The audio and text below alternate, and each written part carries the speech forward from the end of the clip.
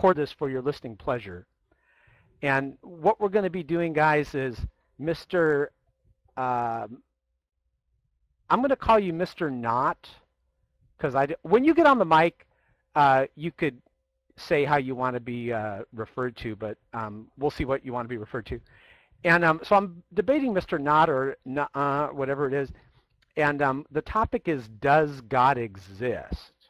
So he's going to be giving arguments against God's existence, and I'll be giving arguments for God's existence.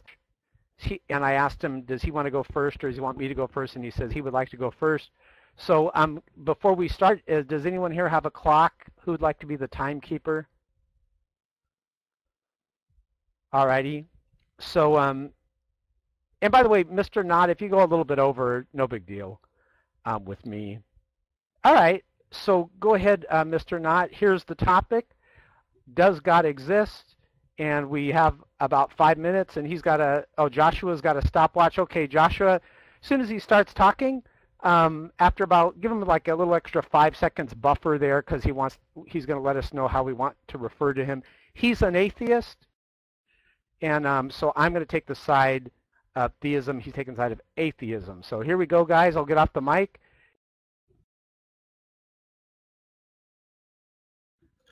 Hello, I would like to introduce myself. I am Mr. Nada, and um, you you would refer to me as an agnostic atheist. No, they are not mutually exclusive categories. I do not know whether or not there is a God for sure, but I reject the claim that are, that the claims that are made about gods because of insufficient evidence, or what I what I see as insufficient evidence. I don't believe in God for the same reason that I don't believe in leprechauns or fairies or unicorns. Because um, I can't prove they don't exist, but I don't believe they exist uh, based on insufficient evidence. Uh, that's where I'll start first of all. Now, I commonly hear arguments like the cosmological argument and the uh, uh, the the ontological argument, and uh, I I do think these arguments tend to make assumptions. And uh, first of all, the cosmological argument, I believe, exploits a logical fallacy, which would be special pleading because it contends that there must be a first cause that eliminates an infinite regress that results from everything needing to have a cause in the first place. And yet, if God does not have a cause, then you ha- you're logically inconsistent unless you explain where God came from, and then you haven't made things. Then you haven't made solved your problem at all. You've made things more complex because uh, rather than just saying the universe spontaneously created itself, which would still be special pleading, I will admit that, but uh, it's less confounded than having a complex supernatural uh, being. Uh, and most people tend to, theists tend to claim it as a personal God, not an impersonal force. So that's uh, that's kind of where I stand on that. Um,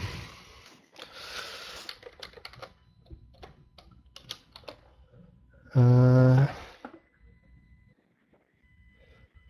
there's also the teleological argument, which I will, uh, I, I, think I'll address here too, uh, which is uh, that design is apparent in things, and I will admit there is an appearance of design in the universe. The universe appears to have rules and constraints and uh, general characteristics, but uh, to say that something intelligent had to decide that, um, I don't think we have enough evidence to go to establish that. We have uh, the creator of the universe is not a testable force, and uh,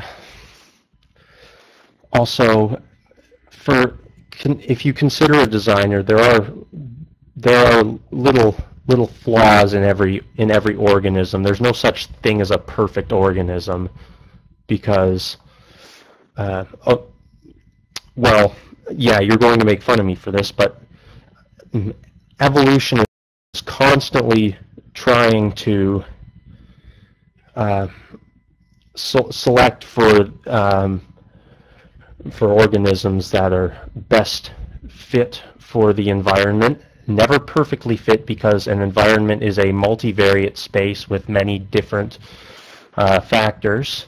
And also, the reason that life appears designed is because life must adapt to new circumstances and different characteristics fit uh, uh, different uh, different conditions. Um, I think I'm I think I'm going to finish up there. Uh,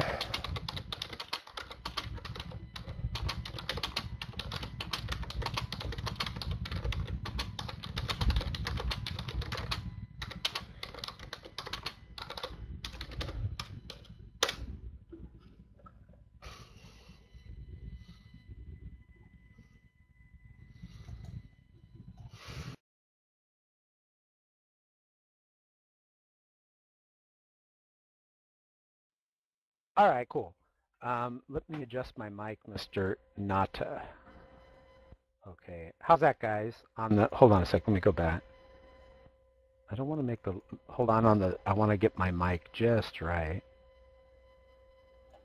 Okay. Um, okay, you guys get ready for the time period. Ready, set, go. Okay. Um, right out of the gate, I think you guys noticed my friend uh, Nada here. Uh, we don't know each other personally, but I'm calling uh, my friend. He admitted that um, he cannot prove that God doesn't exist. Well, um, then also we listened and he didn't give any arguments in favor of atheism. In fact, he said he's an agnostic atheist. Agnostic and atheist, um, they're, they're not the same thing. Agnostic means you don't know one way or the other whether or not God exists. That's what you're claiming and atheists claim God doesn't exist. So to say one's an agnostic atheist is really to say you're unsure about your atheism. And I can tell by your arguments, my friend, that you are unsure about your atheism. Um, first of all, let's go through, well, what I wanted was some arguments against God's existence, and you were very kind getting on the mic, but there's nothing for me to talk about. You didn't give any arguments against God's existence. So um, all I have to do is uh, give some reasons uh, arguments for God's existence. And I like the ones that you talked about. Um, he talked about the fine tuning, and he said that he does agree that the universe does have the appearance of design. And what the fine tuning is is about, the teleological argument, it doesn't just posit, okay, design. What it does is it looks at three plausible explanations for the fine tuning of the universe. Dumb luck and chance, number one like randomness, necessity, like physical necessity, something in natural law, or design.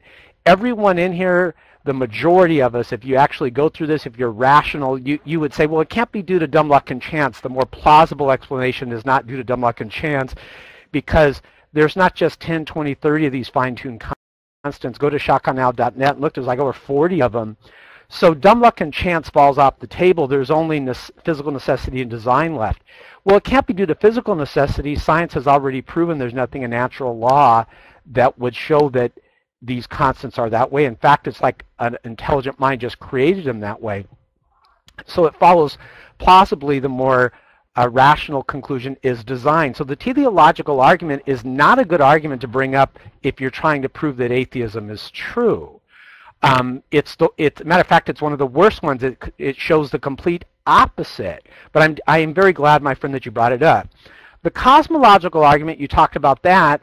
Well, that's not a good argument you want to bring up with um, if you're trying to prove that atheism is true, because the cosmological argument um, basically says that whatever created the universe has to be immaterial, timeless. It has to exist necessarily. Well, some people think that numbers, for example, exist necessarily. Um, and people think that God exists necessarily. Um, no one thinks that God was created. If something had to be created, then it wouldn't be God. Um, God exists necessarily. And he's also not a material object, and Scripture says that he's spirit. So if it's down to numbers or God, as the cause of the cosmolog of the universe, the cosmological argument. Let's look at it. Numbers, it couldn't be numbers. The number 8, for example, doesn't have causation. It can't create anything. Um, so it is more plausible that God created the universe than numbers did. So the cosmological argument um, shows that the universe did have a beginning. And by the way, I really appreciate you getting on the mic. And by the way, how much time do I have, guys? Um, whoever's keeping track. I appreciate getting on the mic, um, but you um, you had said that, um, let's see what you said. Oh, you said that God was created. Um, no, Joshua, we were just doing like five minutes. Five minutes time.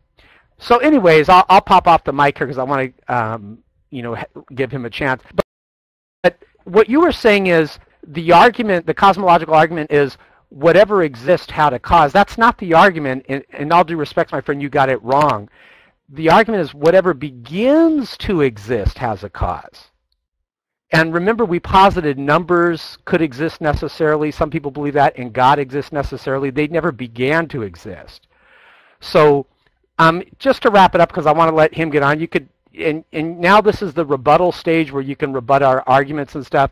We didn't really hear any arguments against God's existence, um, and I showed that the arguments that he actually brought up favor God's existence more than atheism. So, but I, I'll save that for the rebuttal stage. Um, and then as much time as you want to spend on the rebuttal uh, time is up to you, and then I'll go after you're done.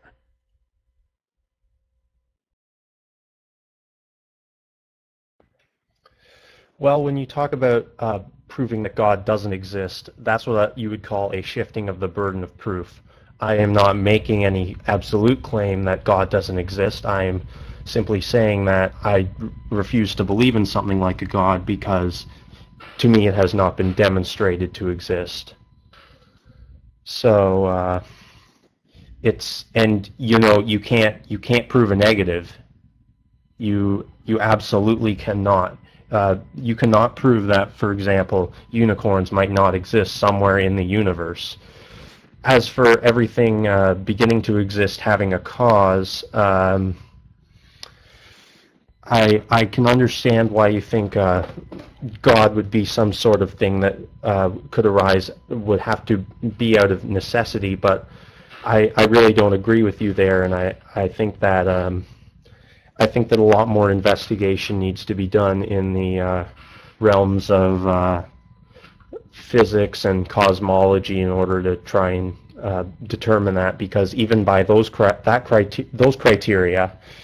Um, if if you say that uh, uh, God be, begun to exist, if you say that God never began to exist, is that not just the logical fallacy of special pleading again? And uh, as for as for numbers, uh, numbers are just abstract concepts that we come up with to um, explain, uh, to quantify objects in the universe. So don't really know where to go with that other than uh, just what I've said there. Uh, as for atheism and agnosticism being uh, mutually exclusive, uh, I I, I um, still disagree on that because uh, if I was a Gnostic the- or Gnostic atheist, I would declare with absolute certainty that God doesn't exist, and I am not saying that. I'm open to the possibility. You can also be an agnostic theist. You can believe that God exists without uh, claiming it for abs- claiming that you're absolutely certain of it. Uh, bill O'Reilly is a person that fits that bill. So um, and you can go look that up. It's him, him and Richard Dawkins. I think their 2007 uh, video. Uh, his 2007 interview of Richard Dawkins, and um, uh, and you can also be a Gnostic theist, of course, which is you think God exists and think that for ab- absolute cert with ab- and you believe that with absolute certainty. So I think I'm going to give the mic over to you now.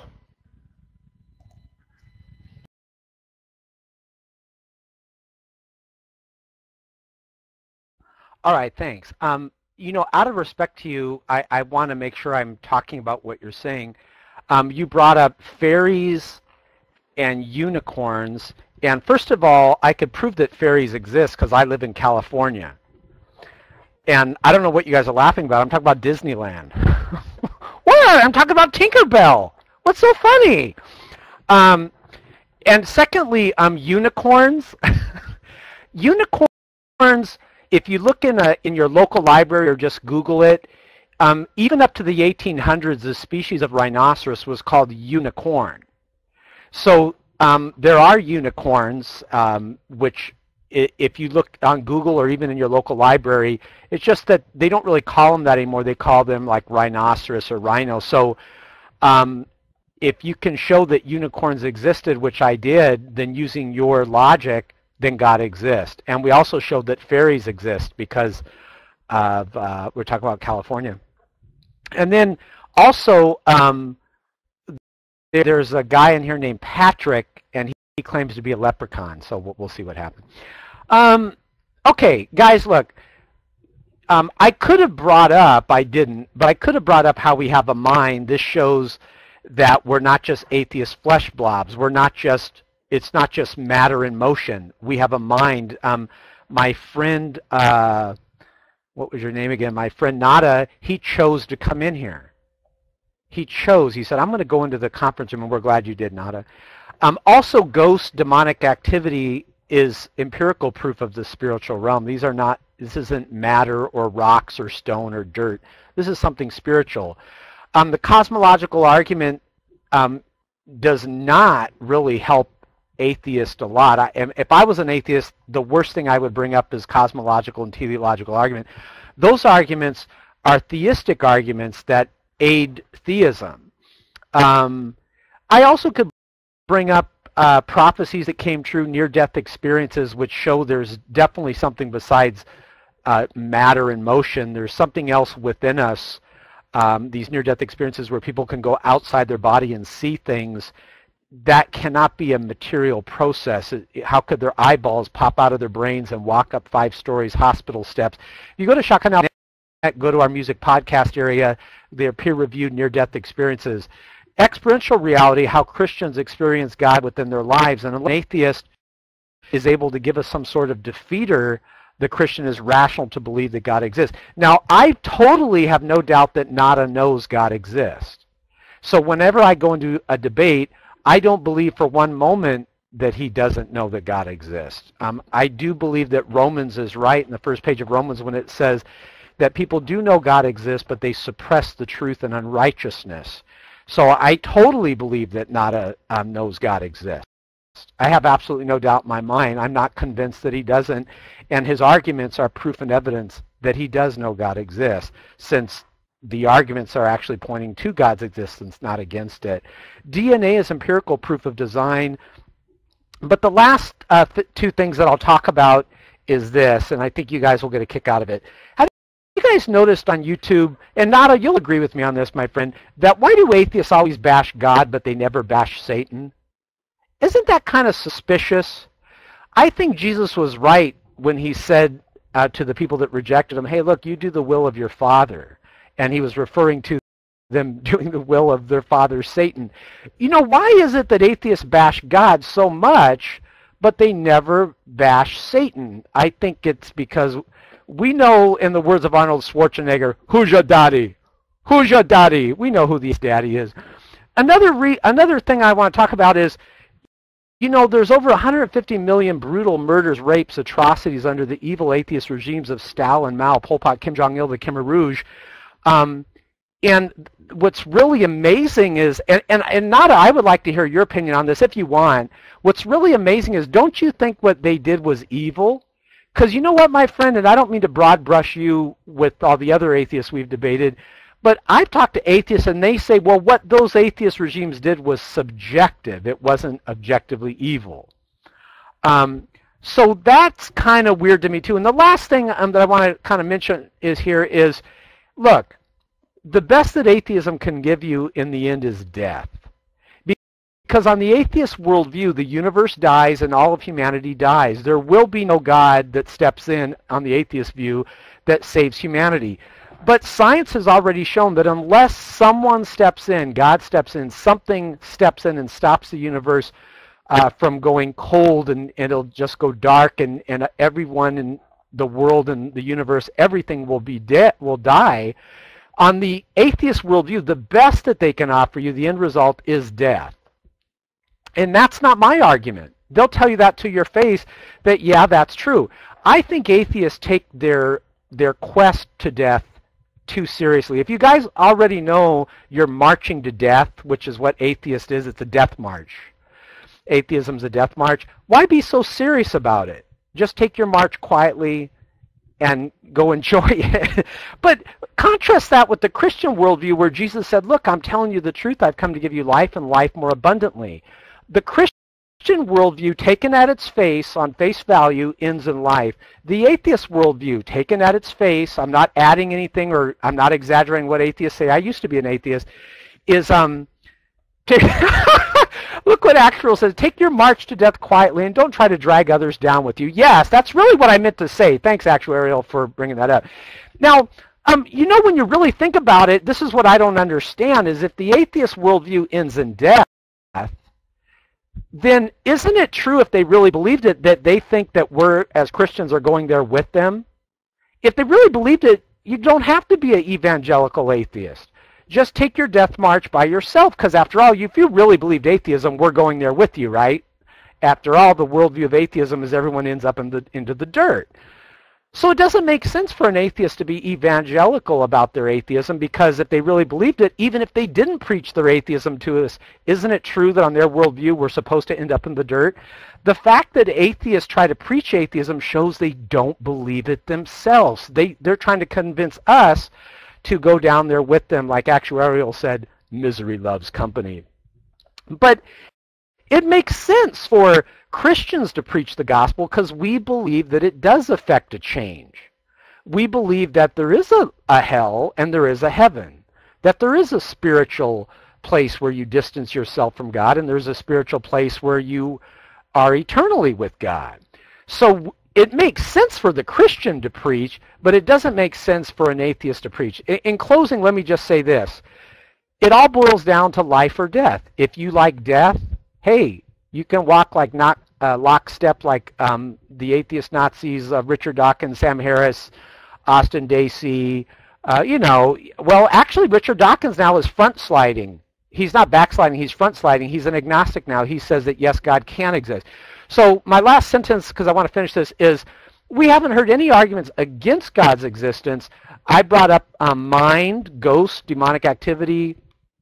Um, we both brought up the cosmological, teleological argument, but that doesn't in no way help atheism. That goes against atheism. We talk about prophecies that came true, near-death experiences, there's like the 1948 prophecy that came true of Israel being gathered again to herself, the prophecy, the Isaiah 53 prophecy in Isaiah that talks about Jesus Christ, near-death experiences and how Christians reality, DNA, which is empirical proof of design. We talked about how atheists really have no objective purpose in life. Their goal is just to, to die. And uh, my parting shot is atheism is a lot like uh, bees. Atheists are a lot like bees. They try to sting you with their arguments, but in the end, they just die.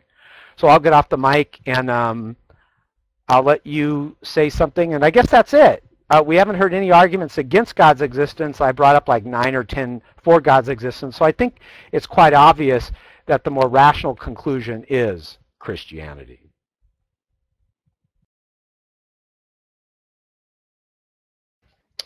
I'd first like to address the uh, the whole mind thing.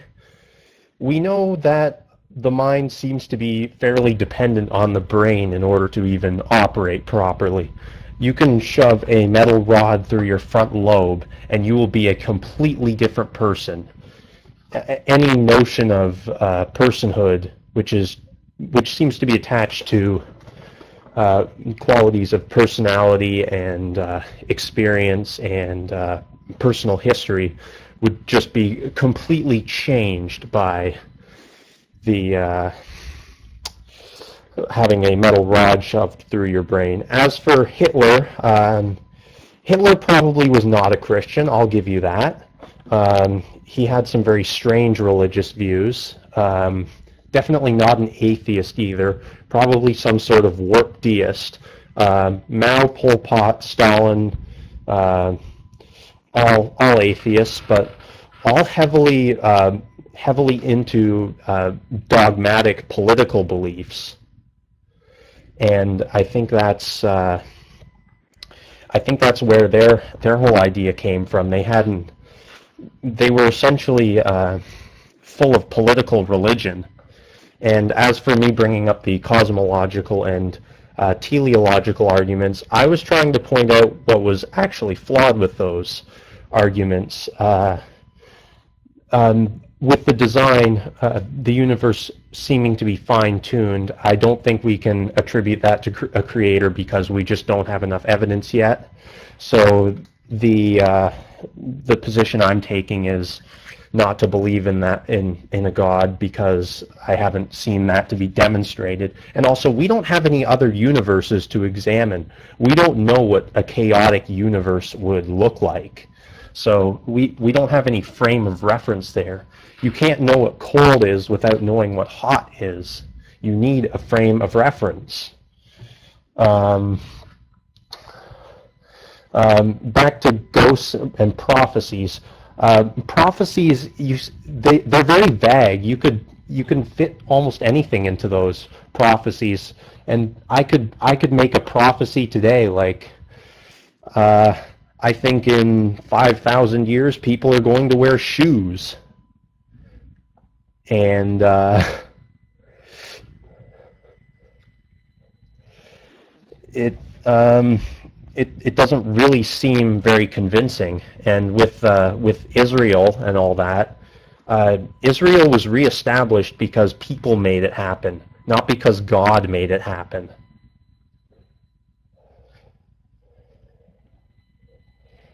uh, you know, if there were if there were more specific facts contained within prophecies, that still wouldn't prove them true. It would mean we'd have to investigate them more.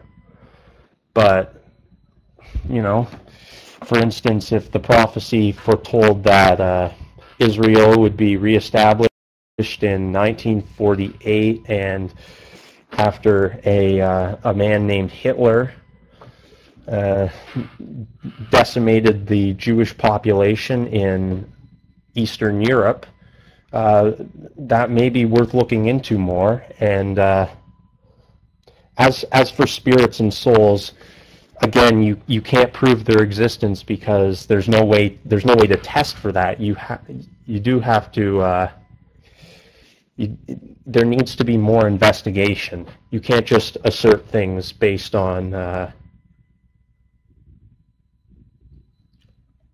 Messiah's bones not be broken? Well, uh, I'd have to look into that one, but I think I think you'd need more more work to prove that it was it it was Jesus's bones, not someone else's. Um, for instance, the uh, shroud of shroud of Turin was uh, proved to be a fraud. Uh, hmm. Well, I think I... Uh, what do I have anything else I want to say? Nah, I think I'm good.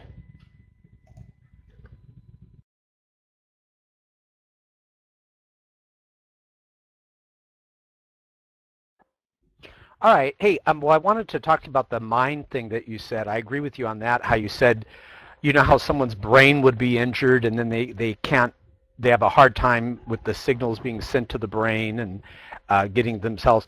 And that's my whole point exactly. You you agree with me that there's our mind and our brain, and so you and I kind of agree. We agree with that, and so that's good. At least we come to some agreement.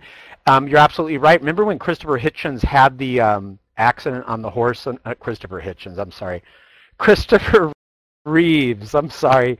I don't want to compare Christopher Hitchens. Remember when Christopher Reeves had the, uh, I always bring up Christopher Hitchens. Uh, well, can I talk about Christopher Hitchens too? Christopher Hitchens was asked if bestiality was wrong, and he evaded the question. He wouldn't answer it. Because on his worldview of atheism, he can't say things are objectively wrong. Um, if you go to shockawenow.net, go to our debates area, you can see someone in the audience asking him that, and he won't say, look, I want to go on record to say that bestiality is always wrong. It's objectively wrong. See how easy that was? Um, but Christopher Reeves, uh, not Hitchens, remember when he had the horse accident, the riding accident, and he, he said like what you were saying. I totally agree with you. He was saying that his mind, he wanted to get up and walk, but because he had the injury, he couldn't do it. And and what you and I are talking about, I think, you know, you kind of are helping me with that argument. That's what I was talking about. Is it's obvious that we have this free will. We we we're not just cells and matter. We can control um, our brains with our mind. It, our mind is separate. In other words, when you and I are happy, um, uh, uh, nada, our brains not happy. We are happy, right? When you and I are sad, our brain's not sad. We are sad. So I used to be an atheist too, and I can tell, and I mean this very sincerely, I can tell you're more of an intelligent, I, I mean this sincerely, I'm more of an intelligent, sincere person. Um, and, and people have seen me debate before. I don't always say that, but I could tell you're like, you're like not afraid to go where the evidence is. I was the same way when I was an atheist, so I think it's pretty cool, and I'm glad you came in here. Um, okay. Um, now, you know how you're talking about the prophecy of Israel, 1948, coming true? That's the thing. Um, I agree with you, is if there's all types of countries that meet this prophecy, then you and I would agree, well, what's so impressive about that? The problem, though, I had as an atheist is there's a lot of countries that have come and gone through world history, and only one country met that prophecy, Israel. Only one. That's impressive, man. That impressed me. There's no other country in world history that has met that prophecy. Um, so that's pretty impressive. And then I, I, strongly encourage people to read the prophecy in Isaiah, um, which is referring to by his stripes we are healed. Talks about how they get clothing um, etc. And then other prophecies that actually had came true. Um, if you go to shockawenow.net and click prophecy, I have a whole list of them there. So that what I'm seeing is when I was an atheist, I left atheism because of the lack of proof and evidence. It is the atheist that believes in a worldview of which there is no evidence. And evidence is important to me. I don't have enough blind faith to be an atheist um, I just can't rationally say, well, so the prophecies came true. Well, so we do have a mind. Well, so the universe was created from nothing. You know, well, I can't turn a blind eye to these awesome things that have happened um, throughout history and, and just say, I'm going to be an atheist based on faith. Now, when you play back the debate, you'll notice that um, we didn't hear any arguments against God's existence. And you, and I agree with you, you're one of the brave type of atheists that come in here. You said, quote, you cannot prove that God doesn't exist. You said, well, you can't prove a negative. Uh, well, that's not true. You can. All you got to do um, is show that something is self-contradictory. And that's why I left atheism, because my Christian friends were able to show me that atheism is self-contradictory. For example, if you talk to Christians and you ask them, does God exist, you know, um, and, you, and you open up Scripture, Scripture clearly claims God exists. I don't hear Christians saying it's impossible for God to exist. Christianity simply claims God exists. But what we hear coming out of atheism is that it's impossible for God to exist. I know you didn't say that. You believe it's possible and possible for God to exist. But that's coming out of atheism. It's coming out of one place. So you can see why atheism is in global decline worldwide, why Christianity is still growing. You have um, the Christian theists saying God exists, but out of atheism, number one, we have no arguments against God's existence. Number two, we got atheists saying, yes, it is possible that God can exist. And number three, atheists will bring up unicorns, and we've already shown that unicorns are a species of rhino. We've also showed that fairies exist in California because I'm by uh, Disneyland. um, so you, you see what I'm saying? I mean, this is why people are just not convinced that atheism is true. And I have to tell you guys, I used to be an atheist, and I tried my hardest to find some type of proof and evidence that atheism is accurate and correct. And it all boiled down to, to be an atheist, you have to be an atheist based on blind faith, not arguments. So let's go through. I just want to sum up the debate here. Let's go through the arguments that the atheist said.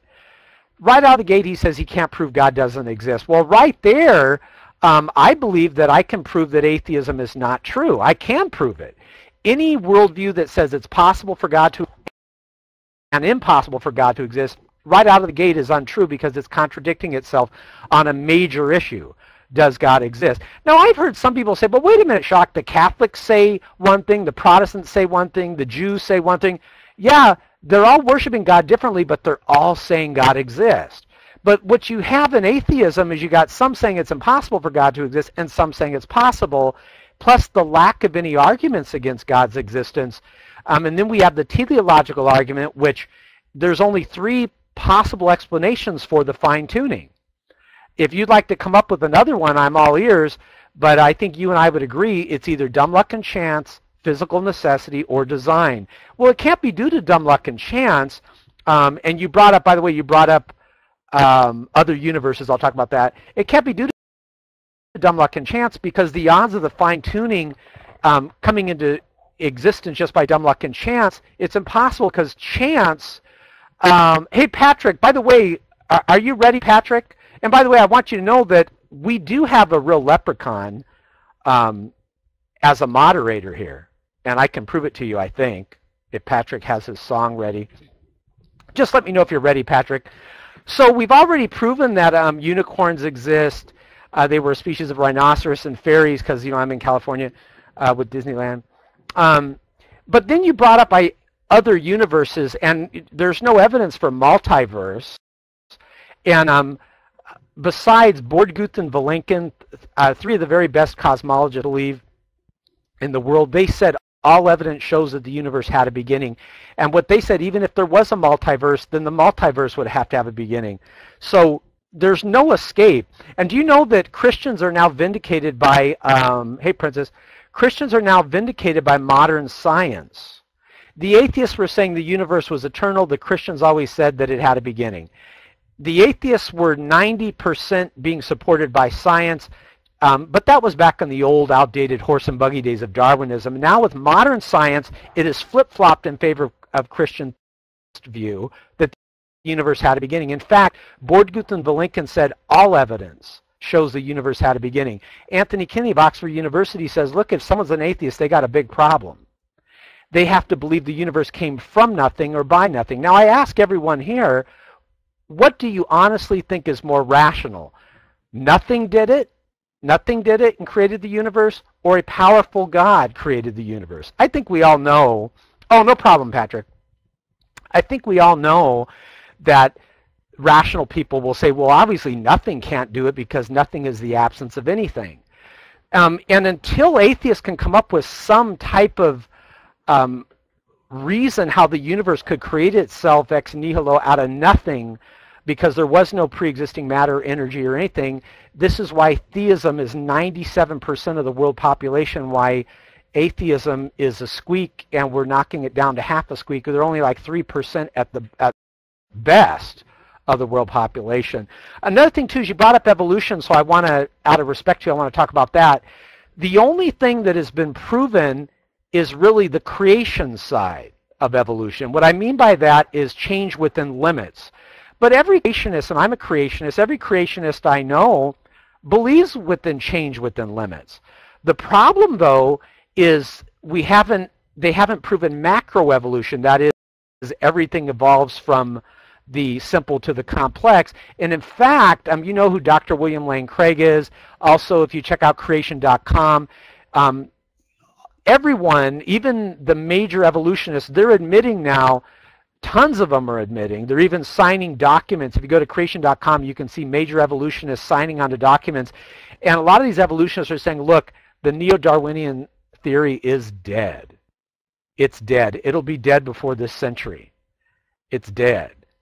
Um, so, you know, if I was an atheist, I'd be terrified because now the only game in town that atheists could play, evolution, even the creationists are taking that away from them. And, you know, we've already won the universe. That's back into the hands of Christian theists. And now we're winning the creation argument. Thanks to the good people at creation.com. I want to put a plug in for you guys should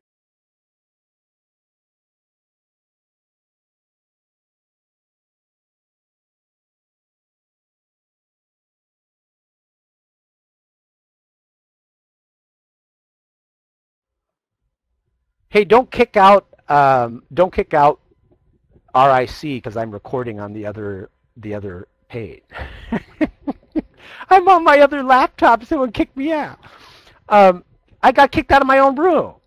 Um, anyways, let me get off the mic. And um, now, by the way, hey, do you want to do, um, Mr. Knott, do you want to do that thing? It's up to you do you want to do the thing where we ask each other one question? Because I have one question, and it's up to you if you want to answer it. It's a very softball question. Here's the question. Um, how many transitional fossils have we discovered? And I'll get off the mic and give me an approximate number, give or take 10 or 20. How many transitional fossils have we discovered? And go ahead, Mr. Knott. And then you could ask me a question, and I'll give you my opinion on it.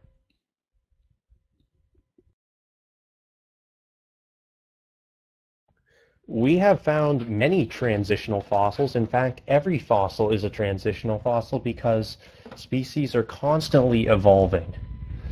Um, if you want to refer to hominids specifically, we've found uh, modern Homo sapiens, archaic Homo sapiens, Homo neanderthalensis, uh, Homo erectus, Australopithecus afarensis, um, and I think a few others too, but I'm not too familiar with them.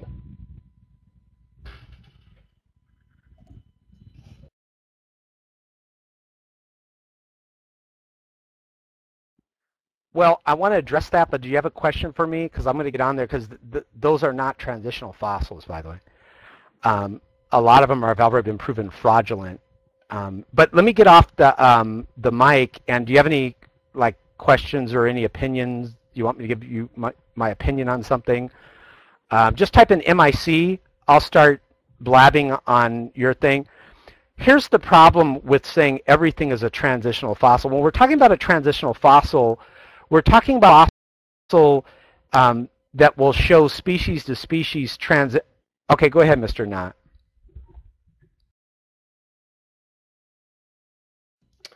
Why would God allow Satan to exist and thwart his plans?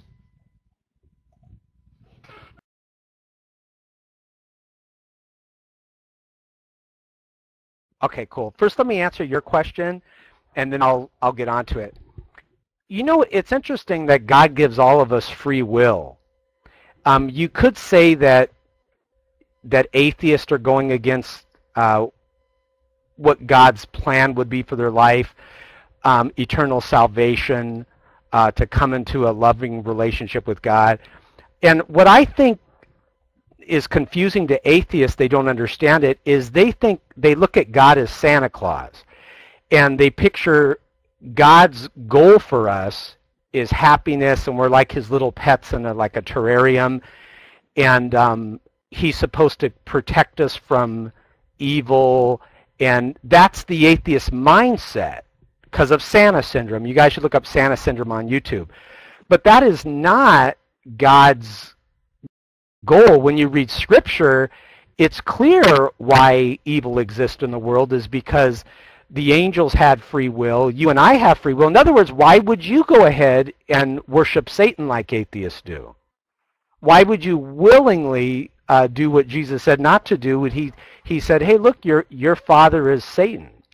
It's because you have free will. Now, obviously, why am I choosing not to follow Satan like atheists do? Because I have free will. I believe it, it's a spiritual thing. And I believe the more people choose to be drawn to the Spirit, the more they'll be in, you know, in God's will. So I could ask you the same thing. Atheists are a lot like Satan. It doesn't make sense. You know, God gives us this free will, but we choose to rebel against it. But I could say this too. Um, a lot of people will say, well, wait a minute, Shock. Are you saying that atheists are just willfully ignorant and they're going against God's will? Yeah, we all know people that are drug addicts or and they did it they're drug addicts. Um, we all know people like that. They dilute themselves. But if you read scripture, and, and I don't, maybe you haven't read scripture, it talks about Satan actually choosing to rebel against God. He actually chose to do it. And right there in, I'll kind of go through some things for you because I think it's real beautiful.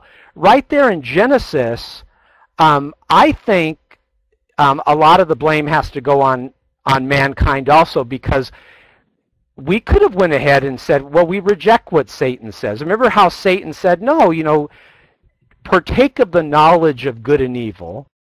Don't listen to what God says. He just doesn't want you to be like him. But what did mankind do? They bought into Satan's lie, which is what you're doing as an atheist. And um, and I think because it's appealing, it's appealing to say, you know what, I'll be my own God, so to speak, and just to buy into Satan's lie. Now, it could have went the other way. Uh, Mr. Nada, let's say that that you were Adam or Adam, and let's say you chose uh, not to go ahead and um, follow Satan, then sin wouldn't have been entered into this world. It could have went that way. But then carried to its logical conclusion, it can go that way right now, but why, in other words, why would you choose to go ahead and follow Satan? It doesn't make any sense to me. I just did a video on this called Christmas Saved My Life, and I talked about it that I believe it's something spiritual. Um, I don't know why someone would, would choose to reject God. It's obviously that you know God exists because you haven't given any arguments against God's existence. Um, so I've come to the conclusion that it is spiritual. It's a spiritual thing. Now, not to get, not to make this a personal thing about you, Mr. Knott, but what I have found is when people choose to reject God, there's something they're doing in their life that they know they shouldn't be doing, and it kind of holds them back from that. So I believe um, the reason why uh, Satan was able to do what he wanted to do is God gave him free will and he abused it. Same thing with atheists. I believe the reason why atheists choose to do the things that they do is God gave them free will and, and they abused it. They're just like their dad. Um, now, onto the fossil thing. Um, you said that everything is a transitional fossil, but that's already been proven to be false. We have many whale fossils that are of the same species. They haven't transitioned to anything. And when you said that, like the entire room was like, oh, fail. There's tons of fossils. We have many horse fossils. They haven't transitioned to any other species. They're still the same species. So you can't say that every single thing is a transitional fossil. The question I asked was this, how many transitional fossils have we discovered? And then you said everything is a transitional fossil. But that's not true. I, I would strongly suggest people go to creation.com and you'll you'll see. Well, can I just show you something real quick, and then you guys can get back on. And if we could have a minute, I wanted to show you that slide, but I remember. Well, um, Darwin, I know it by heart. Uh, Darwin talked about the problem of the lack of transitional fossils, and the problem still remains. Um, and the top evolutionist they're admitting that, hey, you know what, there is a problem with we don't have these transitional fossils. You know that, that tree of life, that Darwinian tree of life, it's not based on fossil evidence at all. It's fake. It's all fraud. That little cartoon tree of life, it's based on conjecture. Um, just to kind of sum up, and then uh, you guys can get on the mic, is um, we went through uh, for God's existence, we talked about objective uh, moral. Well, I didn't talk about that. I made it easy. We talked about cosmological, teleological prophecies that came true, how Christians experience reality um, of God's existence, DNA, which is empirical proof of design. But we haven't even received one argument against God's existence. In fact, he said, yes, God can exist. He just he said he can't prove that God doesn't exist. And your arguments on your side was unicorns, fairies, and leprechauns. Can you see why atheism is worldwide, folks? I think it's obviously clear that Christian theism is the more plausible, rational conclusion. All right, um, Mr. Knott, if you want to get on the mic again, and then Mr. Knott, would you mind after you're done if I let some people get on the mic and kind of explain to you about the transitional fossil problem? Would you mind? Would someone want to get on um, the? Uh, I see Moses, the guy Moses in the room is spamming. If someone wants to get on the mic, yeah, and and notice Nephilim is saying unicorns, fairies, and leprechauns prove God. yeah, I don't get that. I don't get how someone saying unicorns, fairies, and leprechauns would prove atheism's true and God doesn't exist. I never got that. Okay, um, actuarial, why don't you get on and while you're doing it, would you type in your name, actuarial, how it's spelled, and I'll set up your mod code again? Yeah, and I want you guys to listen to this. And uh, actuarial, I'm recording this, so I, I want you guys, I want you to listen to actuarial because he's going to talk to you about why you guys shouldn't be saying everything's a transitional fossil um, so listen to this, guys, and, and really uh, take this in. This is good. Let me be setting up your mod code.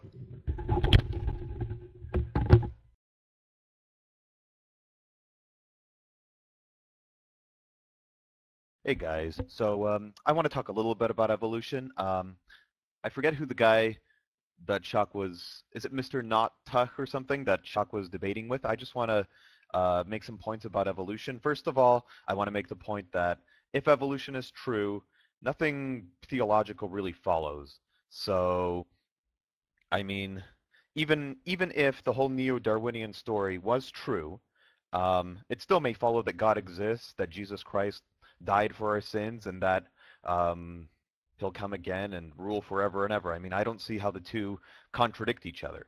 So, in fact, Alvin Plantinga, created an evolutionary argument against naturalism. So in other words, you cannot both hold to the reliability of your cognitive faculties and hold to evolution because evolution um, and also hold to naturalism. So if you hold to evolution and naturalism, which are sort of bedfellows normally, you can't reliably um, hold to the reliability of your faculties. So it's a very fascinating argument. I'm not going to get into it right now. If you guys want me to expound, I'm going to do that. But um, there is such an argument. You can look it up. There's a good video about on it um, with Robert Lawrence Kuhn, but that's just a side note. Uh, the thing I wanted to address was um, every every fossil is a transitional fossil. So yeah, right. Francis Collins supports common descent. I exactly. So um, in fact, Francis Collins even supposes that by the neo-Darwinian synthesis, life may have came about. But the thing is, he's a very ardent Christian, and Collins may be wrong, as Neff said. So, um, again, very little theolo theology hangs on this, but this is an important topic because atheists uh, tend to put evolution and atheism together. So if you bring down the evolution um, side of things, then the atheism side tends to crumble down with it. That's why people use evolution as an argument against atheism. Um, or even why, why disproving evolution would also tend to disprove people's atheism because um, atheists fallaciously put the two together. So let's deal with the whole transitional fossil thing. Um, every fossil is not a transitional fossil. If you see a fossil buried in the ground, you don't know whether it bore any offspring at all. That's that's objection one. I mean, that's trivially true. We don't know whether I don't know the catfish that's that's in the rock strata had any eggs uh, that happened to multiply and create other catfish, right? That's one. Two, the vast majority of creatures, even on the neo-Darwinian synthesis, would produce creatures that are much the same as uh, as the previous ones. So if you have a catfish or whatever, um, it would probably create more catfish. So that's not even a transitional fossil right there. Um, only very rarely would you see a creature create something that's not close to itself uh, by whatever Gould's punctuated equilibrium me mechanism. Such things would be very rare and in small populations. So even on Darwinian orthodoxy, it is not true that every fossil is a transitional fossil. And third of all, of, uh, fossils of species that are extinct. They don't produce anything after that. They just kind of die off. Um, so those don't produce, those aren't transitional either. So I think that's a very, I think that's just a sort of a stock statement that people use, and I'm very grateful that proponents of neo-Darwinian synthesis use the statement that every fossil is transitional because even on their own theory, that's false. So that's one thing. That's one thing that um, I, I, wanted to say. There's a whole slew of evidence um, against the mechanism of neo-Darwinian synthesis. Um, I think the most powerful nail in the coffin for me is the mechan- is the evidence from mutating replicators. So in other words, you have large amounts of creatures, say maybe um, a parasite like the malarial parasite, which has been very extensively studied, and how it how it mutates over time. We have very good studies on how that works. Um, there was a drug called chloroquine, which was introduced and killed off malarial parasites, and malaria found a way to adapt to it. So that's an example of evolution right there using the proposed neo-Darwinian mechanism.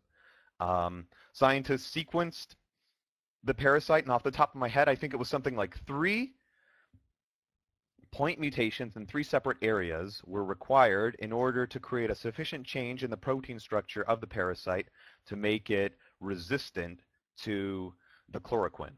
Um, and scientists estimate that something like 10 to the power of 20 um, creatures were required in order to seek out that solution. So if, if it takes 10 to the power 20 creatures to seek out a three-point mutation solution, how many creatures would it take, using very simple math, to seek out a six-point mutation solution? It would take that squared. It would take 10 to the power 40 creatures to seek a solution that takes six point mutations in order to accomplish. But the problem is that 10 to the power 40 creatures is probably the amount of cells that ever existed like on Earth since it began. so um, that's really kind of an upper bound, I'd say a very generous upper bound to what the neo-Darwinian synthesis can search for in its scope.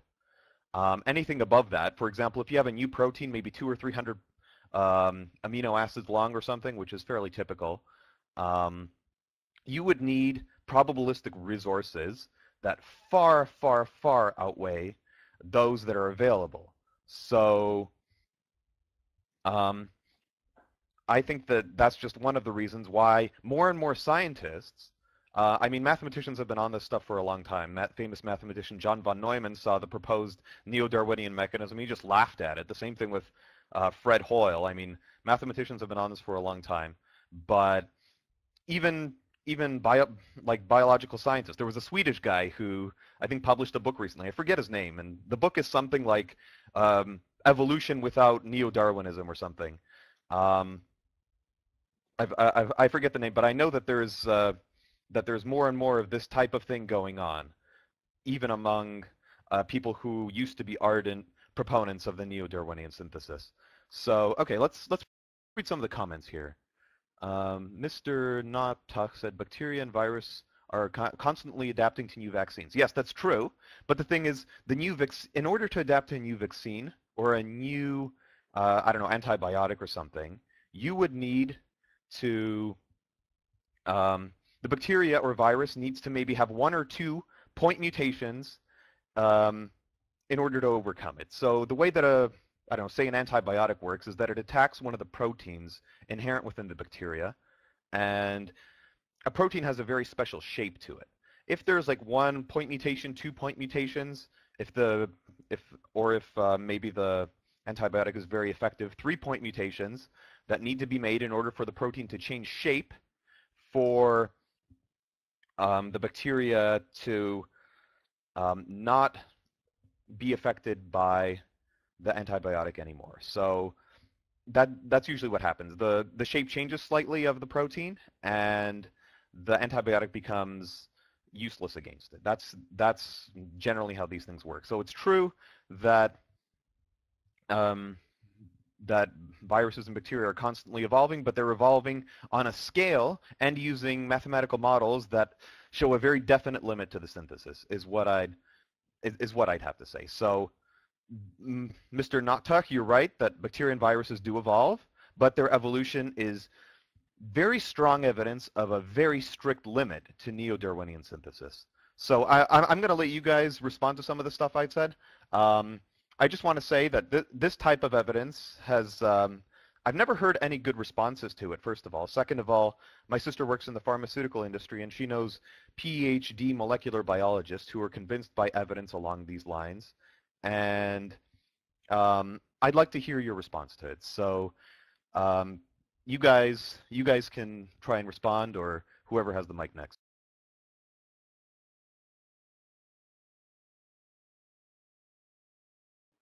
I'll give a few cents worth, and I won't. I won't be long. Uh, uh, if if evolution were true, plantimals should exist. In other words, there should be uh, no distinction between kingdoms. There shouldn't be just animals and plant.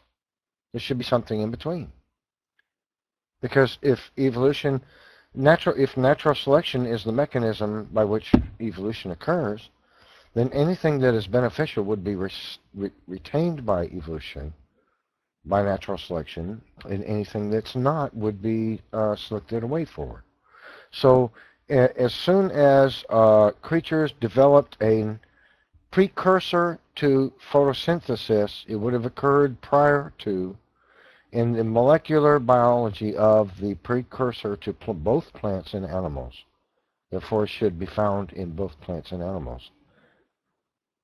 Something like plants and animals combined should exist if evolution is true.